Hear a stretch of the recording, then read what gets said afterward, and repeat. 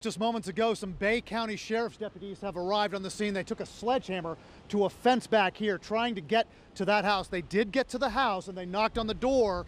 Uh, then they did not get any response and came out. I just asked one of the deputies if they, if there's anybody in here requiring rescue. He says they're not sure. They're just checking houses that have very severe damage. These deputies just went around that side of the house. They may be emerging uh, any moment now, but they just went through this fence with a sledgehammer. So checking some of these houses, and you can see the damage in some of these places here. Our uh, photojournalist Adolfo Ibarra and I will walk this way. You can see the roof of that house got completely sheared off on the right-hand side up there. There's a lot of cinder block damage on the other side. Uh, here come the sheriff's deputies here. Gentlemen, did you find anyone? Uh, all right, all the houses were vacant, they say.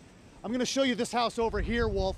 Uh, come on over here, Adolfo, because we have video of this house uh, getting its roof sheared off earlier. Look at that. About half uh, that house looks to be gone, but that major part of the roof got sheared off. The wall got taken off. As the sheriff's deputies moved down the street, I can kind of show you where part of that roof went. We're very strongly suspicious that that is the part of the roof that got sheared off. That large, just piece of twisted metal right there, because we kind of match the colors to the roof, and it certainly would project to have landed right there. So again, this is uh, just the first chance that these first responders are getting to venture out into these neighborhoods. They're still telling people though, Wolf, do not come back to these houses yourself between the down power lines and the gas leaks. Just too dangerous. You know, Brian, I want to show our viewers some video that we have now. Watch this uh, together with us, and, and then we'll discuss.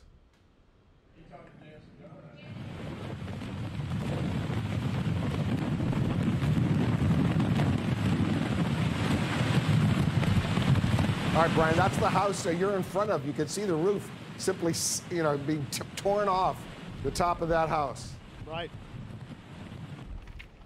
That's right, Wolf. Incredibly dramatic video. And, you know, you can see here, if there was anyone inside that house, they could have been injured. We don't believe there was anyone in there.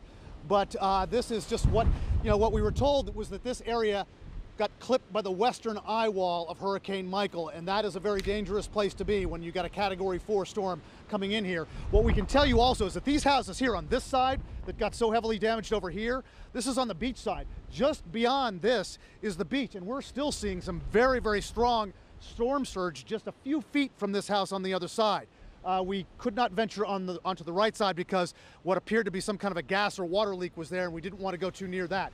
You go down this street, Wolf, still a lot of danger with down power lines. You can see the first responders way down there.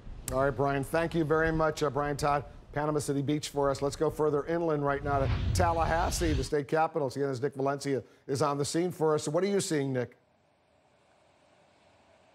Hey there, Wolf. We're not seeing the chaotic or dramatic images that uh, my colleague Brian Todd is in in Panama City Beach, but we are seeing streets here lined with debris. And let me just give you a sense of what we're uh, seeing here on the ground. A lot of Spanish moss, a lot of tree lines, uh, tree limbs down. These trees a major concern in Tallahassee. Uh, it's a beautiful, picturesque city, much of it having to do with the trees here and these weeping willows and oak trees. Uh, but that has become a very concerning situation for the governor, who I spent some time with earlier today. He's concerned that these tree limbs can turn into life-threatening projectiles, just just see how massive these trees here are that line the main thoroughfares here. You may be watching this and say, you know what, Florida deals with a lot of storms. They're used to this kind of uh, severe weather, uh, but not storms like this. In fact, it was just a short time ago that the city of Tallahassee put out on their verified Twitter account that they have not seen a storm like this in a century. And we are seeing those wind gusts and rain bands in fits and starts. Right now, we've been so lucky as to not get any rain, but that wind is starting to pick up. You see, for the most part, these streets are empty save for that debris that's lining them right now.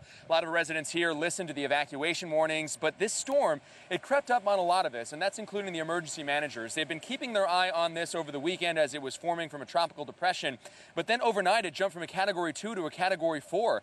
I mentioned I was with the governor earlier, and you could tell just looking in his eyes how nervous he was, and I asked him what his biggest concern was, aside from, you know, public safety and trying to keep all the residents here safe. He says the storm surge is the big concern here for emergency managers. Parts of the state state that have not seen these types of storm surge uh, ever in their history here, at least in modern history. Right now in Tallahassee, the conditions, you know, we're lucky right now. It's not raining. We do not expect that to be the case for the rest of the night. In fact, the worst of it here is expected sometime between the 6 p.m. hour, which we're in, and around 8 p.m. is when uh, things are expected to get really bad here on these streets. Right now, though, thank God, they're empty. Wolf.